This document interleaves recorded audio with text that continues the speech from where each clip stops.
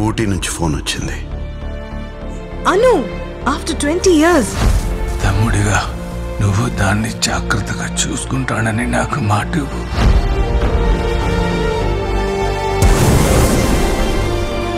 నువ్వు నీ కూతురు బతికొండాలంటే అన్నీ వదిలేసి పారిపోండి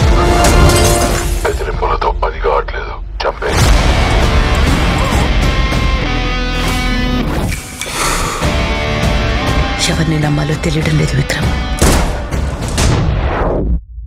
అదితిని నిన్ను చూసుకునే రెస్పాన్సిబిలిటీ నాది.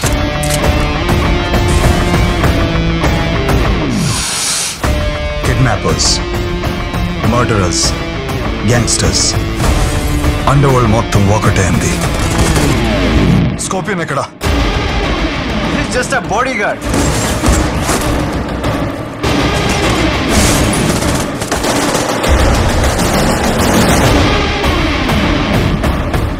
ఎలా ఆపుతావు విక్రమ్? చావును చాలాసార్లు చాలా దగ్గరగా చూశాను ప్రియా.